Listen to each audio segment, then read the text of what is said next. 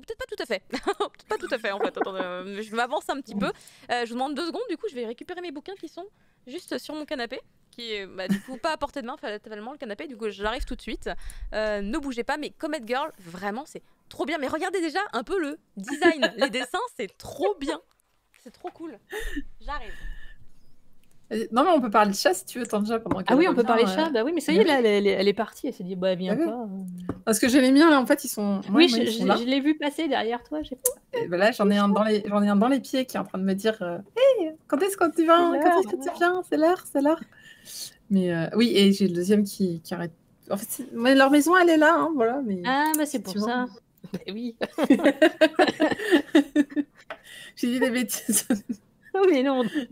Parce qu'on veut pas parler de Comet Girl, non, on attend. Ah, bah voilà. Voilà. voilà. Ah, Elle Petite pause chat, ça marche toujours. Oui. Alors, je sais pas si vous connaissez l'autrice. Elle s'appelle euh, Yuriko Akase. Euh, bah, alors, visuellement, premier truc, en Vachement. fait, euh, quand personnellement j'ai. Ah euh, j'ai euh, découvert euh, les couvertures, hein, parce que le premier truc que j'ai vu c'était les couvertures. Je me suis dit, ah, trop bien, euh, Casterman, il va sortir, ils vont sortir un, un manga rétro. Et ben, pas du tout. Pas du tout. C'est pas du tout un manga rétro. C'est un manga super récent. C'est juste que l'au- l'autrice, elle a un style qui fait un peu rétro. Mais du coup, c'est hyper agréable parce que euh, dans ma tête, en le lisant, j'étais à la fois emportée euh, alors dans, dans de la SF, euh, puis dans une ambiance finalement un peu Ghibli, des fois à cause de certains traits.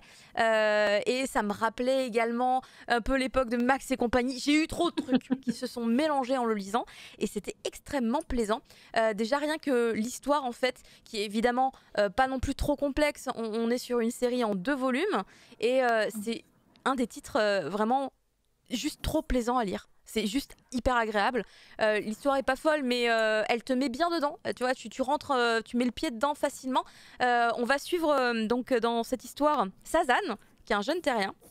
Vous voyez là, il est- très étonné parce que du coup, il se rend compte qu'il a raté son son bus, enfin une espèce de bus interstellaire là, euh, pour pouvoir rentrer euh, bah, du coup sur sa planète.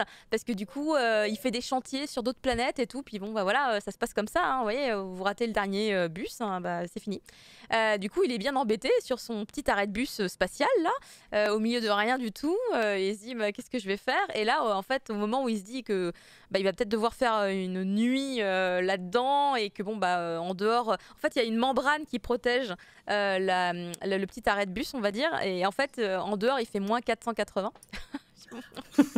c'est pas, pas, vraiment pas l'idéal. Du coup, il se dit est-ce que je vais mourir de froid ou qu'est-ce qui va se passer? Et en fait, au moment où il commence à s'allonger sur le banc, il y a euh, donc cette, euh, cette jeune fille qui apparaît euh, et qui lui dit bah alors qu'est-ce qui t'arrive T'as raté ton dernier bus Si tu veux, moi il y a pas de souci. je t'embarque. Elle s'appelle Mina.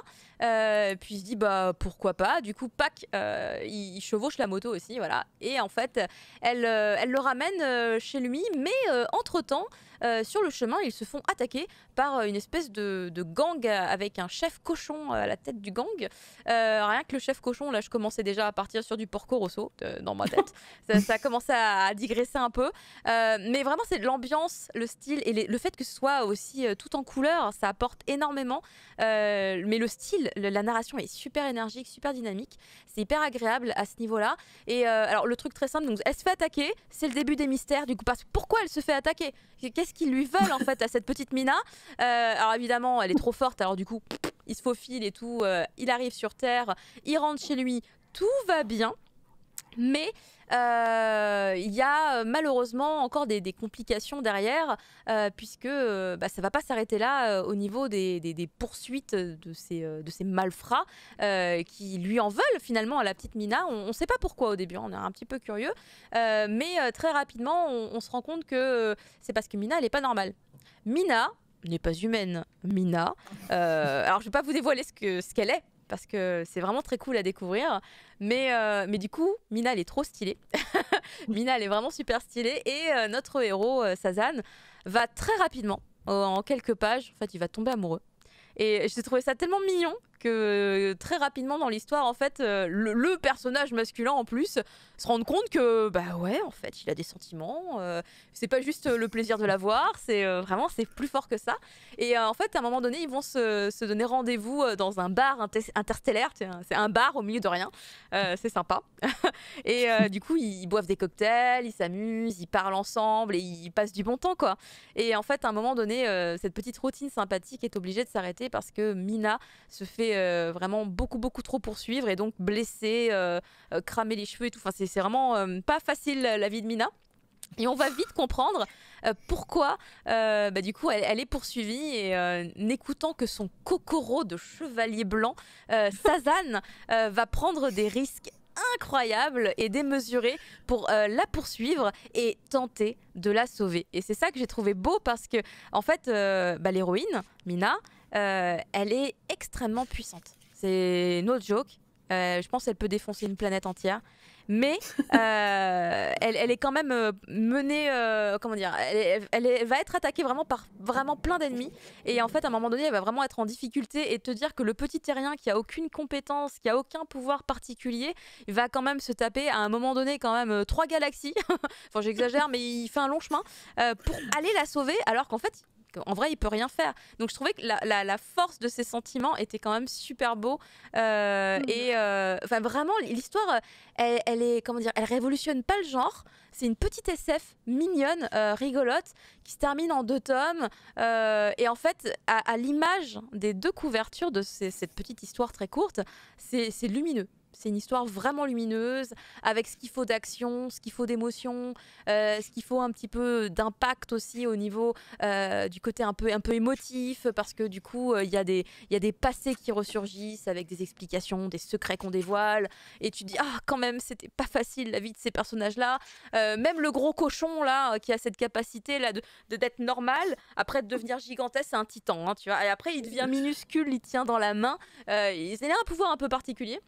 Même lui, c'est le, un peu le, cliché du, euh, euh, un peu l'ennemi qui devient un peu un allié hein, quelque part à mi-chemin, Euh, mais pas tout à fait complètement parce que c'est quand même un ennemi, il faut pas déconner. Mais du coup, c'est vraiment très cool, vraiment une super ambiance, euh, une super alchimie entre les protagonistes. Et Mina, Mina qui est, assez kiffante du coup parce que c'est un personnage très particulier. Et, qui mais du coup va pas trop réagir comme, comme une humaine. Elle a un destin très, très spécial. Mais lui, du coup, euh, Sazan, c'est nos yeux. Sazan, le héros, c'est c'est l'humain. Lui, on, va le comprendre, on va comprendre tout ce qu'il ressent. Et euh, on va être euh, ég- également avec lui dans, dans la stupéfaction de certaines situations, à se dire Ah ah mince alors, ah oui d'accord. Euh, et puis voilà, c'est vraiment une histoire que j'ai beaucoup beaucoup beaucoup aimée. Je vous recommande vraiment, surtout que l'immersion est, est réussie grâce évidemment à la traduction euh, de Fédois la Maudière, hein, une grande traductrice. Euh, et pour moi, c'est ça rajoute un, petit plus sur le A, tu vois, qui t'a noté? le machin. Moi, j'ai vraiment beaucoup aimé. Et les dessins sont très intéressants. Je vous dis, il y a- ce petit côté, vous le voyez, je pense quand même aussi, qui fait un peu rétro hein, quand même, mais qui n'en est pas. Et j'ai trouvé ça encore plus rafraîchissant et intéressant. J'ai fait beaucoup de trucs rétro, dis donc, dans, dans l'esprit un peu rétro euh, dans ce cri du mochi. Mais, euh, mais là, en fait, ce que j'ai trouvé vraiment fascinant, c'est que c'en est pas en fait. C'est l'autrice, c'est le style de l'autrice avec ses influences euh, qui nous permettent d'avoir un résultat comme celui-là. Et euh, alors, je sais plus si c'est pas un de ses premiers titres justement, ou en tout cas, c'est, c'est, on, est, on est sur les premiers titres de, de sa carrière. Euh, et du coup, bah, je trouve que c'est c'est hyper propre aussi. Enfin, tu vois, j'étais là genre, oh, c'est très réussi. Je, je- je ne comprends pas. Ah, il y a un petit côté Dirty Pair. Bah, ça rejoint du coup un petit Ouais. peu la vibe euh, rétro dont je parlais. Euh, mais oui, effectivement, là, je, je le pense euh, effectivement en regardant la coupe de cheveux de l'héroïne, Mina. Euh, ouais, ouais, effectivement, ça rappelle euh, Dan et Dani pour, euh, pour la, la version française. Je sais pas si C'est longtemps. ouais, c'est le Oui, passé oui, un peu. oui, Ouais, effectivement. Euh, tant qu'il ne crie pas cac carotte. ah oui, effectivement, tant que on mélange pas les univers, ça va. Ah, mais c'est vrai que du coup, il y a un truc qui m'a fait vachement penser à Dragon Ball. C'est que, alors effectivement, il y a la planète Terre. Mais du coup, il y a plein de petites planètes. Exactement, euh, c'est Namek, je crois, qui est toute ronde. Et on peut faire le tour en 5 secondes, tu sais. C'est- Il y a des petites planètes comme ça, là où il y a les. euh, C'est très grand, ouais. C'est ouais, et ben en fait, il y a plein de petites planètes comme ça aussi euh, dans cet univers-là, et du coup, ça m'avait fait penser à ça parce que du coup, c'est une planète qui a la gravité assez forte quand même pour si tu poses tes pieds dessus, bah du coup, tu peux faire le tour et, et pour toi, t'es es droit dessus, tu vois. Mais si on voit de loin, bah en fait, t'es à l'envers quand t'es en dessous. Mais c'est vraiment une toute petite planète. C'est-à-dire, je pense que tu fais euh, 50 pas, t'as fait le tour quoi. Donc c'est rigolo de retrouver un petit peu ça visuellement et graphiquement. Euh, et puis il y a des, des créatures du coup, puisqu'on est euh, face à toutes sortes euh, de civilisations. Il y a des créatures qui ressemblent à tout, à rien. Il y a des, il y a des. enfin, J'ai trouvé que les inspirations pour les différents aliens, on va les appeler comme ça, étaient assez intéressantes aussi. Moi j'ai vraiment beaucoup beaucoup aimé. Ah la planète de Maître Caillot. Merci beaucoup Dark. Je Oui, ne ça. retrouvais plus. Euh, et c'est un peu dans, dans l'idée, donc je trouvais ça trop bien. Comment il dit quoi, quoi comme, comme ils disent en haut, ouais. C'est dans l'au-delà de la planète Caillot. D'accord, ok. C'est dans l'au-delà. de la- Oui, mais j'avais plus le nom, ça me revenait plus. On a- dirait qu'il y a des gens très pointus euh, sur euh, Dragon Ball euh, dans le chat. Mais vous avez tout de suite compris ce que je voulais dire et ça c'est cool. hein, on s'est on s'est capté. Donc vraiment Comet Girl en deux volumes. C'est sorti la semaine dernière, je crois. Et vraiment, c'est trop bien. Vraiment, c'est trop bien. J'ai kiffé. C'est une lecture plaisir. Vraiment une lecture plaisir. euh, une, une sympathique petite aventure euh, qui, voilà, qui, qui, a, qui a ce qu'il faut. Il y a les bons ingrédients et, euh, et c'est très très bien. Voilà. Merci beaucoup, Madingue, d'avoir mis le lien vers le site de Casterman. Sorti fin avril. je l'attendais beaucoup. Et ben, je suis super contente. Voilà. C'est vraiment très très bien. Est-ce que ça vous a donné envie de le lire, Tanja, Marcy? Je suis curieuse, je suis très curieuse. Euh, je suis en général, je suis pas très cliente de, de, de ce type de rétro là, euh, genre d'Antifer déjà à l'époque. j'aimais. Ah, Mais euh, mais euh, pourquoi pas, pourquoi pas. De toute façon, en général, j'aime bien ce que sort Casterman. Je, je trouve qu'ils ont des, des très très bons euh, très très bons choix. Ouais. Donc euh, ce sera probablement un grand oui pour moi. Ouais, Mm. bah, j'étais zéro déçue, mais je- j'aime beaucoup Casterman aussi euh, depuis quelques temps.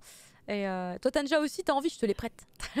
Ah oui, Euh, oui, oui, ça m'arrange parce qu'en fait, euh, j'ai failli craquer la semaine dernière et puis j'avais beaucoup, beaucoup trop de mangas à acheter, donc j'ai fait, Ah, ça va pas être possible. Et Ouais. il m'intéressait justement parce que j'avais entendu parler d'autres personnes qui disaient qu'effectivement c'était un style Ouais. rétro, mais avec une mangaka qui est euh, enfin, Totalement de maintenant. Oui, J'ai oui, vu là, j'ai regardé son, son profil, elle est en 90, donc euh, bon, voilà. Ça va, ça va. Voilà, c'est des choses qu'elle n'a pas forcément connues hein, de base. Ou alors c'était quand elle était toute petite. Donc c'est euh, c'est assez étonnant d'avoir des, des styles comme ça. Moi, ça, Ouais. ça me. Voilà, toi, rien que ça, ça me titille, quoi. C'est Ouais. ça, pareil. C'est une très curieuse. C'est une, ouais, c'est une curiosité, on va dire. Mm, Bah, en tout cas, vraiment, euh, j'espère que si jamais vous avez l'occasion de le lire, vous ressentirez le, le même plaisir que moi à la lecture. C'était vraiment trop bien. Et du coup, merci Casterman de proposer euh, des petits ovnis comme ça. Je me permets Mhm. carrément de le dire parce que c'est vraiment. j'ai- un peu la sensation que ça rentre pas dans un contexte classique de n'importe quel euh, autre type et de série Mhm. et de one-shot qu'on peut retrouver ailleurs. Ça reste vraiment un truc un petit peu à part. Mais du coup, c'est vrai que Casterman, ils, ouais, ils ont un peu l'habitude de ça. hein. Ils proposent justement des choses un peu plus atypiques. Euh, et Thunder Geek dit moi, je dis oui. Voilà, c'est super. S'il dit oui, bon. S'il dit- On si tout le monde dit oui, on est bon, on est parfait. C'est ça. Euh, mais d'ailleurs, un autre titre qui, à mon avis, va être vraiment très très bien et dont va nous parler Marcy à l'instant, ce n'est pas de la SF, c'est euh, plutôt des mystères avec Don't Call It Mystery